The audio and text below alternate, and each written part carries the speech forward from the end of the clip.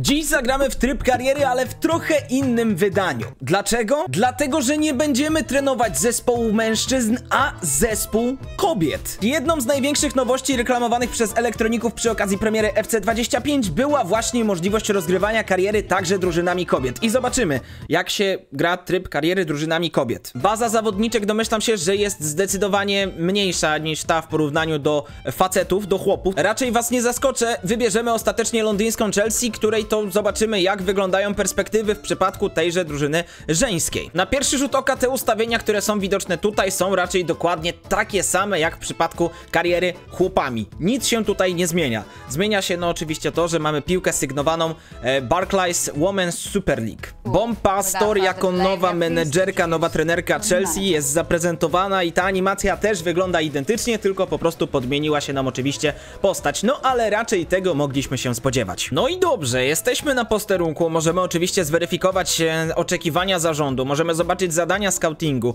spojrzeć jak to wszystko się prezentuje, zaczynając od powiadomień, gdzie mamy raporty ze szkółki juniorów, gdzie mamy zespół, gdzie mamy zarządzanie tymże zespołem. Ostatecznie po wprowadzeniu kilku zmian mamy ustaloną wyjściową jedenastkę i oczywiście ten ofensywny tercet, gdzie mamy Sam Kerr, Guru Raiten oraz Lauren James, wygląda naprawdę prima sort. Ciekawi mnie z kolei bardzo wartość tych zawodniczek, ich aktualna sytuacja kontrakt, o kurde, dobra, ej, ta wartość jest też odwzorowana, bo na przykład Sam Kerr, czyli oceniona na 90 punktów overalla, jedna zdecydowanie z najlepszych piłkarek na świecie, jest warta zaledwie 425 tysięcy euro, czyli mniej więcej tyle, co co drugi junior z ekstraklasy, który wam wypadnie, gdy wyślecie scouting do Polski. Ale bardzo dobrze, że jest to odzwierciedlone w rzeczywistości, tak jak to wygląda. Tutaj też możecie zobaczyć, jak wyglądają płace piłkarek w porównaniu do tego, jak wyglądają płace u piłkarzy, ale dobrze, nie o tym mamy teraz rozmawiać, tylko właśnie, możemy ruszyć na jakieś poszukiwanie transferowe właśnie. To jest interesujące. Spoglądając w zakładkę transfery, mamy tutaj jakichś scoutów, którzy oczywiście wyszukują nam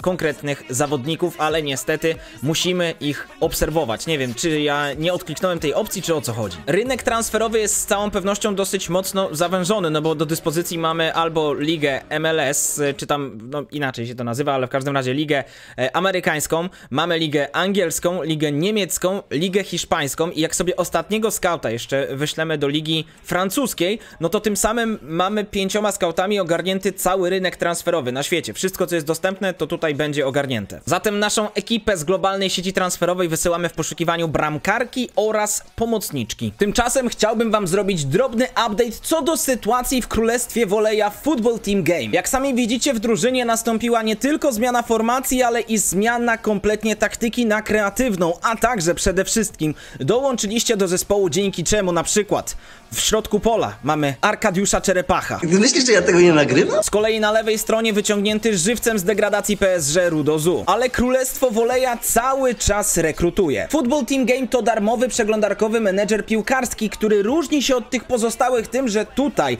drużyny są tworzone z zawodników, których tworzycie wy. Niestety wyniki, które w ostatnim czasie osiągnął nasz zespół są co najmniej niezadowalające, ale właśnie dlatego potrzebujemy ciebie w naszym składzie. Okazja do tego wręcz idealna, bo w najbliższym czasie mierzymy się z ekipą Kartex Spor oraz Olympic Gone. Co więcej, rejestrując się z linku w opisie oczywiście wspieracie kanał, a także otrzymacie aż 50 tysięcy punktów energii na start. Możecie to spożytkować na trening swojego zawodnika, dodatkowo otwierać paczki, ulepszać swojego piłkarza, trafiać mu nowe itemy. A tymczasem przechodzimy do kolejnej zakładki, czyli Akademii, gdzie w tejże Akademii mamy już kilka piłkarek, kilka, które mają też overall bardziej lub mniej interesujący i na przykład taka Dalia Santos, to w ogóle wygląda prima sort, tak samo Leticia Barrera. Obie zawodniczki możemy przerzucić sobie do drużyny i spróbować znaleźć im klub na zasadzie wypożyczenia. I w ogóle, jeżeli chodzi o wypożyczenia, to też możemy ruszyć tak bardziej w świat i puścić właśnie w świat kilka naszych zawodniczek. I z tego co widzę, to my mamy tak czy siak już sporo e, piłkarek wypożyczonych, aż trzy do Crystal Palace, czyli w sumie ciekawe, daleko nie miały z Londynu do drugiej ekipy z Londynu, a także Lune Ribadeire, która gra w Paris FC. I od razu ruszamy na boisko, by przetestować nasze zawodniczki z Akademii, oczywiście w trybie Rush, gdzie to mierzymy się z Manchesterem United i od razu wypuszczamy Samarasa, który, która, która która była na spalonym. Rzut rożny rozegrany na krótko i Samaras po raz kolejny do... O Jezus Maria, fatalny przechwyt! I nasza bramkarka niestety bezsilna w tej sytuacji. Piłkarki Manchester United wysuwają się na prowadzenie. Harris na przedpole, widzę tam w polu karnym jest Moreno i Moreno, dawaj, zgaś to! Huknęła pięknie, ale broni Herst. Znowu Manchester United w naszym polu karnym i Manchester United po raz kolejny nie zrobił sobie niczego z tego, że był w naszym polu karnym. Niestety, ale tracimy bramkę. No dobra, była to ekspresowa i przebojowa przygoda, której nigdy nie zapomnę. W takim razie wróćmy do naszej zakładki transferowej i zobaczmy, czy coś interesującego zostało nam tutaj zaprezentowane przez naszych wysłanników. Całe mnóstwo ofert transferowych za nasze zawodniczki się pojawiło. Niektóre zignorowałem w pełni umyślnie, inne zignorowałem nieco mniej umyślnie. Ale na przykład tutaj możemy sprzedać Series Brown do Racing Louisville za 17 tysięcy euro. Sugerują nam, że maksymalnie moglibyśmy uzyskać z tego transferu 18 tysięcy euro. Ruszamy na negocjacje transferowe. Jej wartość rynkowa to aktualnie 15 tysięcy. Spróbujmy, co powiedzą, gdy 20 tysięcy euro zgadzają się na to. Natomiast my w końcu doczekaliśmy się sensownych raportów dotyczących piłkarek i widzimy na przykład Ewelinę Kamczyk, która na pewno będzie intrygującą zawodniczką, ale musimy oczywiście tam wysłać skauta, żeby dowiedzieć się jednak nieco więcej na jej temat. Kolejny raport z Ligi Niemieckiej, tutaj mamy Merle Froms na bramkę, którą też możemy wziąć pod lupę. Jeżeli chodzi o obronę, to jest Katarina Naschenweng oraz Julia Gwin, ale żadna z tych zawodniczek raczej nas nie interesuje. No ale muszę sprawdzić jedną podstawową rzecz, czyli napastniczka FC Barcelony, Ewa Pajor. Jak tutaj wygląda sytuacja z wyceną, z wartością, z pensją? Proszę ruszyć na poszukiwania. Tym samym pora pierwszych transferów, czas odejść, czas pożegnań, czas po prostu zmiany. No bo nie ukrywam, że chcę przetestować tutaj kilka opcji, więc jeżeli mamy tutaj zagorzałych fanów żeńskiej ekipy Chelsea FC, to przepraszam, jeżeli sprzedaję twoją ulubioną piłkarkę. Ale czy była nią Series Brown? Wątpię. Mamy w końcu ukończone raporty dotyczące wielu zawodniczek, w tym także tych z reprezentacji Polski, które nas najbardziej interesują. Zatem, patrząc na bramkarki, Kinga Szemik z West Hamu United raczej niekoniecznie wpisuje się tutaj aspekt e, wzmacniania naszej drużyny. Nieco lepiej wygląda Manuela Zinsberger. Jeszcze lepiej wygląda Merle Froms z Wolfsburga. No i mamy wyczekiwane informacje dotyczące Ewy Oceniona na 87 punktów overalla, warta 300 tysięcy euro. No, czy Ewa Pajor byłaby nam potrzebna w składzie? No ja bym ściągnął z całą pewnością, ale niestety FC Barcelona za wszelką cenę nie sprzeda nam tej piłkarki, ponieważ jest zbyt ważnym elementem ich składu. Z Ligi Francuskiej dostaliśmy informacje co do Eweliny Kamczyk oraz Katarzyny Kiedrzynek i także kilku innych piłkarek, które akurat faktycznie by się wpisywały w ten nasz trend. No, tak jak mówię, ja bym chciał tutaj wzmocnić przede wszystkim bramkę. No bo gdy patrzę na nasz blok obronny, a w sumie raczej bardziej e, blok bramkarski, to no nie robi to szału. Dlatego korzystając z moich kapitalnych zdolności negocjacyjnych dogadujemy transfer Merle Froms, która na zasadzie definitywnego transferu zamienia Wolfsburg na londyńską Chelsea i z tego co widzę to animacje są naprawdę dokładnie takie same, no jedyne co, no to e, treningowy strój żeński jest odrobinę inny niż treningowy strój męski, ale obstawiam, że prezentacja też będzie wyglądała zupełnie tak samo, no bo zresztą czego innego mielibyśmy się spodziewać. W każdym razie spodziewać to się możemy zdecydowanego progresu na bramce. Za jedną z najlepszych bramkarek na świecie zapłaciliśmy 85 tysięcy euro i w rozliczeniu oddaliśmy jedną z naszych bocznych obrończyń. Tak więc do góry unosimy nasze czoła i spoglądamy na nasz zespół, który teraz po wrzuceniu tutaj Merle Froms wygląda naprawdę fantastycznie. A czy znacie jakiś lepszy sposób na zaznajomienie się bezpośrednio z naszymi piłkarkami, na zwrócenie uwagi na to, jak się nimi de facto gra, niż no cóż, rozegranie spotkania? Nie wiem. Wiem, że rozpoczynamy i inaugurujemy sezon i od razu ekipa The Villains próbuje nam strzelić bramkę. Dobrze, Merle Froms, dobra interwencja. Ogółem moje pierwsze wrażenie z poruszania się tymi piłkarkami jest trochę tak, jakbyśmy grali na albo po przesuwanych dosyć mocno suwaczkach, jeżeli chodzi o tempo zwłaszcza, albo jakbym odpalił, nie wiem, FIFA 13 albo 15. I to niekoniecznie w pozytywnym tego słowa znaczeniu, bo obie te produkcje moim zdaniem są w ścisłej czołówce, jeżeli chodzi o gameplay, jeżeli chodzi o fan z gry, przynajmniej dla mnie i dla wielu innych graczy, tylko o mm, taką troszeczkę sztuczną i jednokierunkową albo bardzo ograniczoną pod kątem kierunkowym prędkość biegu. Guru Raiten blisko pola karnego. Guru Raiten strzał odbity głową. Nie no, te strzały też są takie dziwne. Słupek Loren James. Z czegoś takiego, no dobrze. Dobra, próbujemy uderzyć Nusken. Zapolak. O Jezus Maria, jak lutnęła. Dobrze, tam bramkarka Aston Villa ręce prawie złamała przy tym, ale bardzo dobrze, o to chodzi. To próbujemy teraz dośrodkować z rzutu rożnego. Guru Raiten, znowu James i znowu nie było to zbyt efektowne i efektywne. To dawać tą Lawrence, podciągamy ją także do ataku. Świetna górna piłka do Guru Raiten i Guru Raiten teraz na górę. Jest strzał Sam Kerr. Zagranie do Cuthbert. Cuthbert. Cały czas Cuthbert. I mamy gola, mamy bramkę. No jeżeli zrobiły taką autostradę, to grzechem byłoby tego nie wykorzystać. 69 minuta i prowadzimy z Aston Villą. Guru Raiten, jesteśmy w dobrej pozycji do oddania strzału. Co to jest? Ej, w Ultimate Team mam wrażenie, że to tak nie chodzi. Ale strasznie dziwnie. Ale wygrywamy. No może nie jest to jakieś zbyt okazałe zwycięstwo, ale na to, żeby zająć czwarte miejsce aktualnie w Barclays WCL wystarczy. Ale żeby faktycznie to czas wygrać derby Londynu, w których to nie wygrywamy i Crystal Palace, do którego jest wypożyczona połowa naszego składu, ogrywa ostatecznie Chelsea 1 do 2. Kolejne spotkanie to Manchester United i tenże Manchester United zostaje pewnie rozbity 3 do 0. No to teraz przyszła kolejna nieco zmianę aranżacji, mianowicie na Ligę Mistrzyń. Jesteście tym zainteresowani, mam nadzieję, bo już wam pokazuję, że w Lidze Mistrzyń, w przeciwieństwie do tej Ligi e, Mistrzów, mamy nadal fazy grupowe. Fazy grupowe, w której to jak sami widzicie jesteśmy w grupie B z Realem Madryt, Ginamp i Turbine Potsdam. I po raz kolejny pod osłoną nocy, albo raczej deszczowego wieczoru na Stamford Bridge w Londynie udajemy się po garść piłkarskich emocji. I ja nie będę ukrywał, ale to jest pierwszy raz jak w ogóle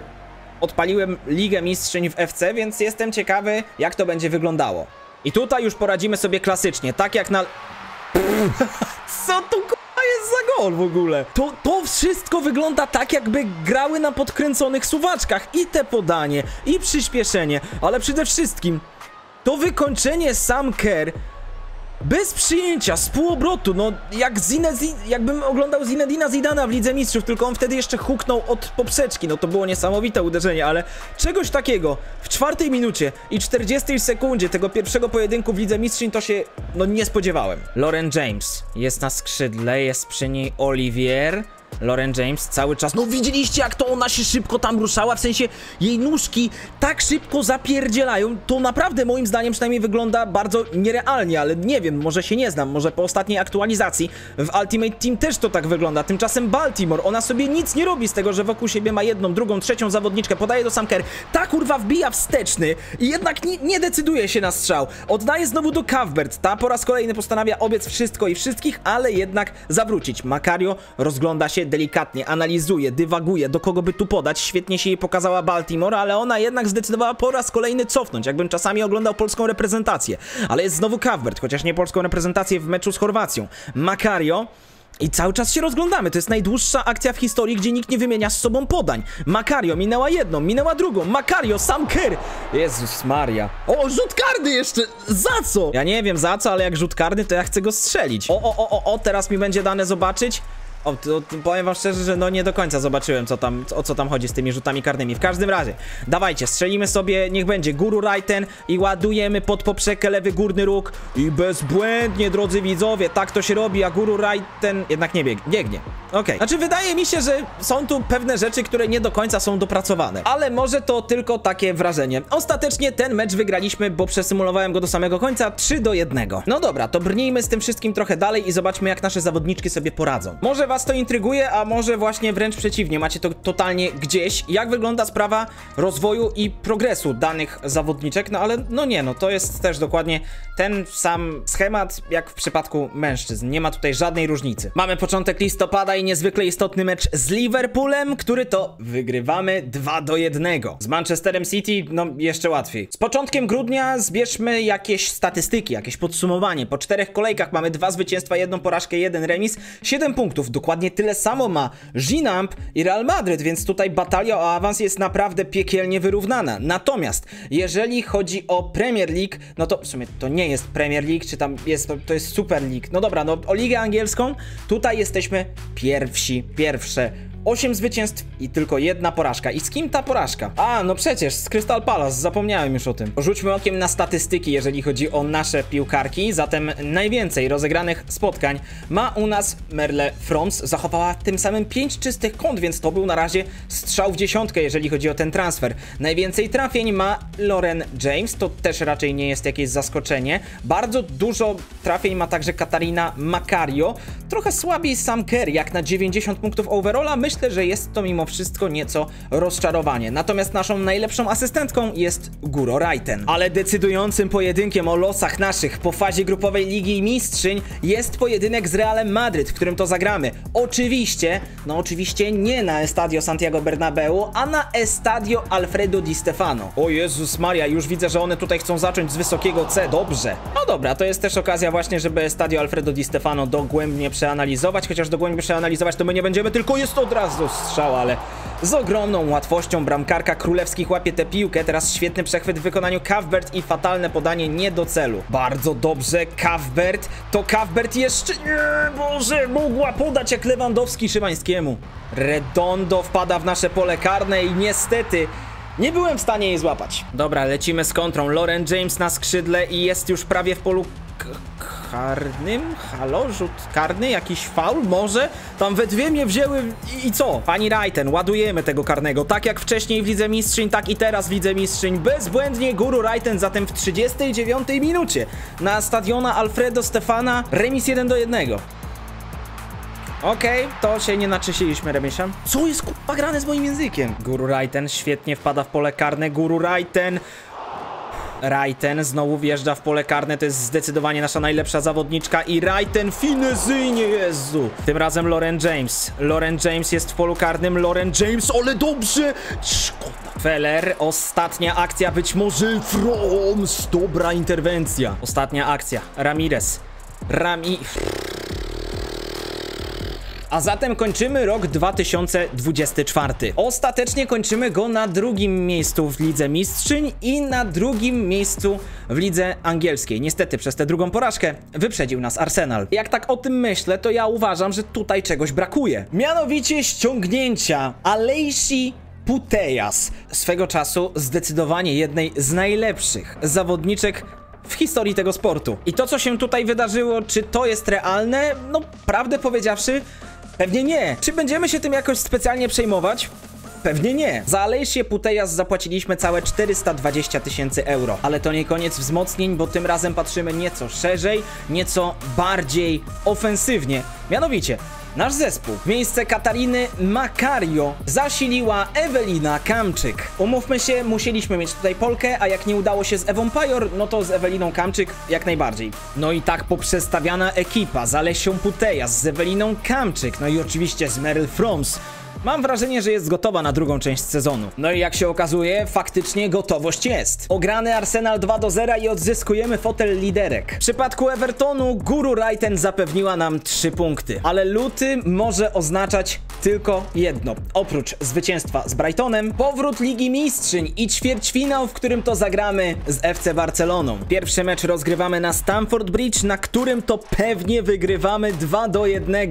Lauren James i Nusken dają nam prowadzenie. Rewanż w Hiszpanii musi być formalnością, ale zanim formalność, to batalia o tytuł mistrzyń Ligi Angielskiej, gdzie to zagramy na wyjeździe z Manchesterem City, z którym zremisujemy 1 do 1. No to teraz raz jeszcze nawołuję do odbębnienia formalności i ogrania FC Barcelony. Jezu Chryste, no to niezła formalność. 8-7 w rzutach karnych wygrywamy, ale ostatecznie udało się. Awansujemy dalej. Ale co to była za batalia? Lauren James w 83 minucie wróciła z dalekiej podróży. Wcześniej strzelała Alejsia Putejas przeciwko swojej drużynie. Dalej Ewa Pajor, Pina, Pina razy dwa, znowu Lauren James. No i rzuty karne. W tych rzutach karnych ostatecznie górą chyba A, po prostu obroniła rzut karny Mer więc super transfer. Ja daję okejkę i wy też swoją drogą w tym momencie możecie zostawić okejkę. Zatem półfinał. W nim zagramy z Realem Madryt, więc wszystko zmierza moim zdaniem tylko i wyłącznie do tego, że w finale Ligi Mistrzów zmierzymy się z Olympique Lyon. Wracamy do Ligi Angielskiej, gdzie remisujemy 1 do 1 tylko z West Hamem. No i niestety sytuacja ligowa jest dla nas nieciekawa. Do liderek z Arsenalu tracimy już 4 oczka. O matko boska, ale bie... A nie, chwila, dobra, e, po prostu się nie wczytały tekstury. Miałem mówić, że ale biednie wygląda ta tablica reklamowa z tyłu. E, ale no nie, no, no Liga Mistrzyń mimo wszystko sponsorów ma, tylko po prostu no nie wymagajmy od tej gry wczytywania się tekstur wtedy, kiedy one się powinny wczytywać. Zatem nie pozostaje nic innego, jak pojechać na Estadio Alfredo Di Stefano, na którym to już graliśmy. I niestety, Przegraliśmy, a teraz odwrócić losy kompletnie tego spotkania, bo tam faza grupowa to faza grupowa, ale teraz faza pucharowa, półfinał Ligi Mistrzyń. Tutaj niezwykle istotne jest wywiezienie dobrego wyniku i wygrywamy na wyjeździe 3 do 2. Lauren James trafiła do siatki dwukrotnie, a Alessia Putejas jako pierwsza rozpoczęła cały proces strzelniczy, więc dziękuję bardzo. Nie chcę się powiedzieć, że mamy autostradę do finału, ale taką drogę krajową, która dopiero co przeszła remont, bo wójt wygrał wybory już jak najbardziej. W drugim półfinale, zgodnie z oczekiwaniami i przewidywaniami, awansował Olympique Lyon. A batalia pomiędzy Chelsea a Olympikiem Lyon właśnie w Lidze Mistrzyń to w ostatnich latach można powiedzieć, że taki nawet klasyk. Ale żeby ten klasyk się ziścił, no to musimy na Stamford Bridge wybronić ten korzystny wynik wywieziony z Madrytu i drodzy Państwo, skromny remis 1 do 1 i bramka Cuthbert wystarczyła, żebyśmy awansowali do finału Ligi Mistrzyń. Czas na ostatnie dwie kolejki Ligi Angielskiej Kobiet. W derbach Londynu ogrywamy Tottenham 2 do 1, a nasze zmagania w Barclays Women's Super League kończymy pojedynkiem z Liverpoolem, w którym to zagramy na zasadzie symulacji i zobaczymy, co wyciśniemy z tego już dopakowanego gwiazdami do maksimum zespołu. Wycisnęliśmy kolejne trzy punkty, kapitalny powrót w drugiej połowie, Sam Kerr i Alessia Putejas. Ale niestety, to nie wystarczyło, by dogonić Arsenal i Manchester United, zatem londyńska Chelsea, w przeciwieństwie do tego, jak to ma w rzeczywistości jej żeńska ekipa, tym razem ligi nie wygrała, tylko zajęła trzecią lokatę. Ale ma szansę wygrać. No i patrząc na drużynę przeciwną, wiemy oczywiście, że trzeba tutaj uważać na boki obrony, zwłaszcza, no, na basie przede wszystkim. Ale w tym momencie jakiekolwiek gdybanie odstawiamy na bok. Bijemy się o to kolejne europejskie trofeum, które musi trafić do naszej gabloty. Gramy na Estadio Jose Alvalade i rozpoczyna od środka oczywiście ekipa z Francji. I jak, tak jak wam powiedziałem wcześniej, to jest swego rodzaju klasyk, jeżeli chodzi o Ligę Mistrzyń. Klasyk, który w ostatnich latach, o ile mnie pamięć nie myli, jednak kończył się zazwyczaj na korzyść ekipy reprezentującej Ligę Francuską. Ale może teraz napiszemy e, na nowo historię. Tymczasem Guru Raiten traci futbolówkę. Diani ucieka Lawrence, która próbuje ją pokryć. Dogranie w pole karne. Hegeberg, świetne odegranie i jeszcze raz Hegerberg z ogromną łatwością to zrobiły zawodniczki e, Olimpiku Lyon i no niestety na razie niewiele wskazuje, że mielibyśmy napisać na nowo tę historię. O matko jedyna, jaka dziura w tej naszej obronie, zwłaszcza po tej prawej stronie, no to jest karygodne, to znaczy zależy z której strony patrzymy, czy prawej, czy lewej, no w każdym razie, tam gdzie jest nasza lewa obrończyni, no to jest po prostu autostrada, już nie ta ugruntowana, wyklepana droga krajowa, tylko tym razem naprawdę ktoś postawił drogę szybkiego ruchu albo nawet autostradę. I teraz jeszcze jeden strzał, Lezomer na całe szczęście jednak się pomyliła. Zagranie górą do góru Raiten, Lawrence, puszczaj Raiten, tak jest bardzo dobrze i mam nadzieję, że tam sam Kerr już jest przygotowana do zgarnięcia tej piłki, chociaż ona zagrana gdzie? Do kogo? Po co? Ewelina Kamczyk, bardzo dobrze, Guru Raiten, po raz kolejny Samker osamotniona w polu karnym, chociaż z drugiej strony już biega Lauren James, Carpenter, dobra interwencja. Ja Carpenter, szczerze mówiąc, najbardziej kojarzę z tego, że to była moja podstawowa obrończyni na początku FC24 w moim składzie. O matko boska, no nie, no nie możemy zostawiać tyle wolnej przestrzeni. Ja mam pytanie, co robi reszta bloku defensywnego? Bright, teraz bohaterska interwencja, ale czy nasza kapitan będzie w stanie jeszcze się przeciwstawić przez chwilę rosnącym tym siłą Olimpiku Lyon. Ja się zastanawiam przede wszystkim, gdzie reszta bloku defensywnego w tej sytuacji. Tymczasem Carpenter e, świetnie odnajduje Hegerberg, która przestrzeliła. Hegerberg, Horan, ale ma dużo przestrzeni, no nie! No nie! Taka bierność w defensywie nie przystoi ekipie, która chce być mistrzyniami Europy. 43 minuta, Ewelina Kamczyk do Samker i Samker w polu karnym. Jezu Chryste! Jak mogła to zmarnować Australijka, będąc w takiej sytuacji? No ona niezwykła się mylić. Może teraz, jeszcze pod koniec tej pierwszej połowy, Guru Raiten zdoła dośrodkować dobrą piłkę. Ewelina Kamczyk walczyła tam o tę futbolówkę górą. Ktoś tam delikatnie poturbowany, ale jest jeszcze raz, jest kurwa spalony. Nie wiem, co się musi wydarzyć w drugiej połowie, żeby odmienić losy tego meczu. Cuthbert, Baltimore. Baltimore co? Ej, co jest? Czemu mi samo zmiany zrobiło? Ja jej tu nie wpuszczałem! Zmieniło mi Lauren James samo z siebie i wprowadziło ba... No Jezu, i jeszcze Tom Biern! Ja jej też nie wpuszczałem! Ewelina Kamczyk, zagranie do Lorenz na prawą stronę i teraz jest spore zagęszczenie w polu karnym. Piłka znowu trafia do Lorenz. Indywidualnie na granicy pola karnego, jednak na przedpole. Tu się pojawia ta Baltimore, ni stąd, ni zowąd. Oddaje jednak do Samker, Alejsia Putejas. Samker zaraz obok niej. Australijka wdziera się w pole karne. Samker! No w takiej sytuacji się nie pomyliła. 2 do 1. Łapiemy kontakt w 58 minucie. Jeszcze nie powiedzieliśmy ostatniego słowa. Inicjatywę przejmują zawodniczki z Lyonu. Dabrit. Strzał z dystansu zablokowany jednak przez naszą linię defensywną. I teraz Samker. Zagranie górą do Guru Raiten. I pytanie z kim ona ma grać? Norweszka jest kompletnie osamotniona. Mija jednak Carpenter z ogromną łatwością. Guru Raiten. Guru Raiten! Piznęła w słupek i do widzenia. Przesuwamy nieco wyżej nasz zespół i myślałem, że teraz od razu się uda e, z takim łatwym przechwytem, ale żeby móc przesunąć tyle zawodniczek wyżej, musimy zachować no zdecydowanie spokój w bloku defensywnym. Czy umożliwią nam to nasze pomocniczki? Tego nie wiem. Tymczasem Alejsia Putejas, Samker próbowała tam Ewelinę Kamczyk wypuścić. Damaris Egurola świetnie znajduje Hegerberg i obawiam się, że to koniec naszych przygód, przyjaciele, a jednak nie! Merle Froms Diani w boczną siatkę. Hegerberg, gdzieś tam jest przy niej Lawrence i świe... O matko boska, dobra, nie tak świetnie, to był dosyć brutalny faul, ukarana żółtą kartką. Próba strzału, Hegerberg... Jo, kur...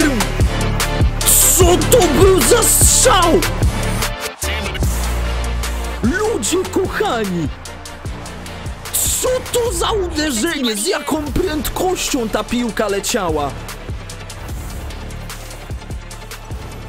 Pokażecie 114 km na godzinę, chyba prędzej 214. Ale jebnięcie, nie jebnięcie, pierdolnięcie z trzyfuntowej armaty na twierdzy Kłodzko. Tym samym obawiam się, że to koniec naszych przygód, przyjaciele, bo chyba w 10 minut nie zdołamy odrobić dwóch bramek. No, no chyba, że jednak mnie zaskoczą jeszcze pozytywniej zawodniczki. Teraz Samker straciła tę piłkę. Całe szczęście, że tam asekurowała ją z tyłu Alejsia Putejas i teraz do niej właśnie zagrana ta futbolówka Samker. Baltimore pokazuje się z przodu Ewelina Kamczyk, ale ten blok defensywny. Zawodniczek z Lyonu zwarty do tego stopnia, że po raz kolejny tracimy futbolówkę. Samker, może jeszcze bramka na otarcie łez. Ewelina Kamczyk, Ramirez, Ramirez w polu karnym, to musi być bramka. No dobra, Trzy minuty nadziei. Ale niestety to Basia ma piłkę w pobliżu naszego pola karnego, chociaż jest teraz strata Baltimore. Dziewczyny, jak najszybciej przenieść tę futbolówkę bliżej pola karnego Olimpiku Lyon. Nysken, to może być ta ostatnia akcja, tylko Jezu Chryste! Czy oni wszyscy są cali, ale one grają ostro? No niestety, no niestety. Yy, przegrywamy Premier League, przegrywamy Ligę Mistrzyń. Znając warunki trenerskie w Chelsea, niezależnie od tego, czy jest to ekipa męska czy żeńska, wydaje mi się, że że żegnamy się z posadą. Niestety, to nie zawodniczki, które dzierżą niebieskie trykoty, podniosą tenże puchar za Ligę Mistrzyń. To będzie po raz kolejny Olympique Lyon. O Jezu, co się stało z rękami? Powiem wam, że jest tutaj trochę błędów, jeżeli chodzi o proporcje zawodniczek, zawodników, no bo ona trzyma te ręce w ten sposób cały czas. Co to są za szkity długie? No ale niestety, takie, a nie inne zakończenie naszej przygody na 99% oznacza zwolnienie. Wydaje mi się, że nic więcej w tym temacie dodać nie musimy. Czy wy będziecie korzystać z trybu kariery kobiet w FC25? Napiszcie w sekcji komentarzy.